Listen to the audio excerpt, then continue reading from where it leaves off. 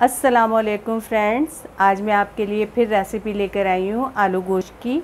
और जैसा कि मैं उम्मीद करती हूँ कि आप सब ठीक होंगे, खैरियत से होंगे। और दुआ गो तो मैं आप सबके लिए रहती हूँ। और नमाज़ों नमाहर नमाज़ में भी आप सबके लिए दुआ करती हूँ। कुल जहान के लिए दुआ करती हूँ, फिर अपने लिए दुआ करती हूँ।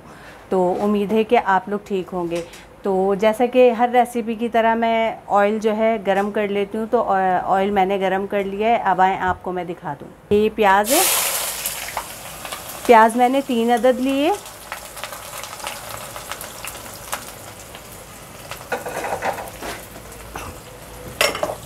प्याज ब्राउन होने का वेट करेंगे हम।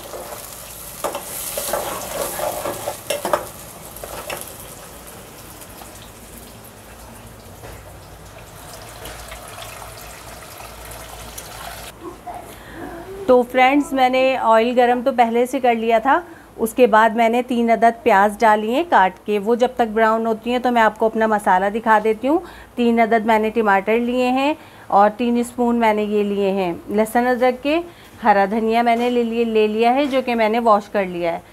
इसमें मैंने आधा चमचा हल्दी लिए, एक चमचा मैंने गरम मसाला ली पिसा हुआ धनिया लिया है और एक चमचा मैंने नमक लिया है और डेढ़ चमचा मैंने कुटी हुई मिर्च लिए अगर आप ज़्यादा खाते हैं तो आप ज़्यादा भी डाल सकते हैं।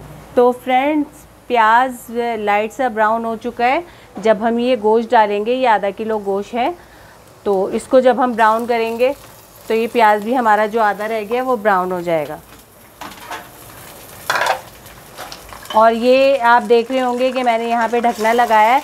तो ये ढकना इसलिए लगाया है कि यहाँ से हवा बहुत आती है और जब हवा आती है तो फिर बहुत देर में खाना भी बनता है। आँच सही नहीं आती गैस की।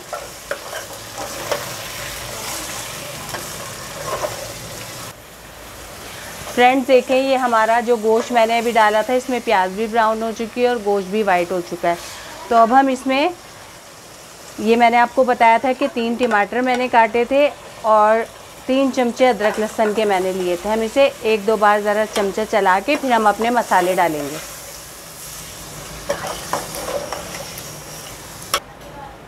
फ्रेंड्स, अब ये मैं अपने मसाले डाल दूँगी। ठीक है? मसाले डाल के हम इसमें एक दो बार अपना चमचा चलाएँगे ताकि मसाला इस, इसमें अच्छी तरह मिक्स हो जाए। फिर उसके बाद हम पानी डालेंगे और पानी डालने के बाद हम इसे, इसका पानी खुश्क होने के लिए इसे छोड़ देंगे। जब पानी खुश्क हो जाएगा तो फिर उसे भूनेंगे। ये मैंने पानी लिया है दो से ढाई गिलास। ताकि हमारा गोश्त बीफ का है तो वो अच्छी तरह इसमें गल जाए। फ्रेंड्स, देखें, हमारा गोश्त जो है भुनने वाला है बिल्कुल ना, बस थोड़ा सा रह गया है भुनने के लिए ना। और तब तक हमने देखें यहाँ पर चाय भी चढ़ाई हुई है। आपको पता है कि कराची में लोग चाय कितनी पीते हैं। अगर चाय ना पिए तो गुजारा नहीं होता, एक टाइम खाना नहीं खाते, लेकिन चाय ज़रूर चाहिए ना। और वैसे भी चार बजने वाले हैं तो चार बजे तो चाय लाजमी ही चाहिए, वरना सर में दर्द हो जाता है। अभी ये देखें, हमारा मसाला कितनी हद तक भुन चुका है।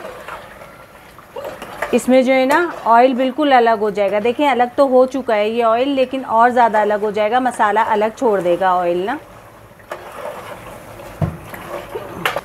देखिए फ्रेंड्स हमारा मसाला भुन चुका है, ये देखें। ऑयल अलग हो चुका है, मसाला अलग हो चुका है।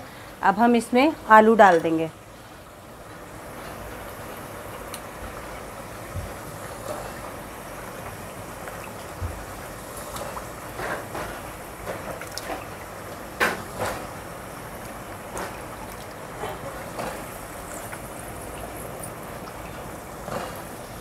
अब हम ये आलू डाल चुके हैं। अब हम आलू को मसाले के साथ मिक्स कर लेंगे।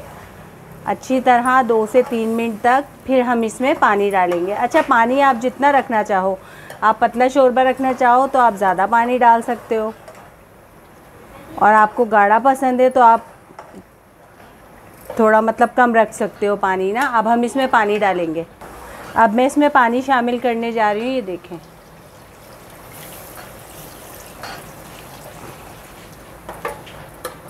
जाएगा, फिर मैं आपको दिखाऊँगी।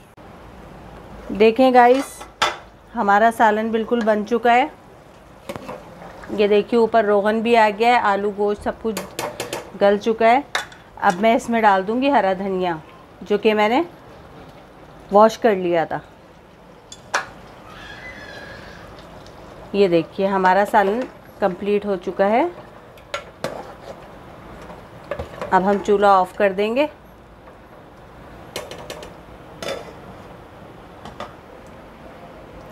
फ्रेंड्स, उम्मीद करती हूँ कि आपको मेरी आलू गोश्त की रेसिपी पसंद आई होगी।